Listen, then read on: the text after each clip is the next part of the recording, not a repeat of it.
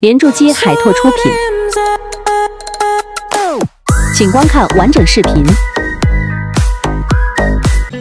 连铸机的出现简化了生产工序，提高了生产效率及金属收的率，节约能源消耗，使生产成本大为降低。现在的炼钢企业，无论是长流程炼钢还是短流程炼钢，连铸机的配备几乎成为必然。接下来，让我们看看它是如何工作的。将所需熔炼的金属放进熔炼炉里，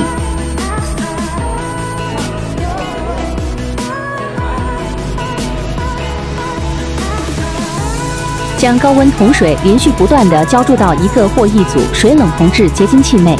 铜水沿结晶器周边逐渐凝固成坯壳，待铜液面上升到一定的高度，坯壳凝固到一定厚度后，拉绞机将坯拉出。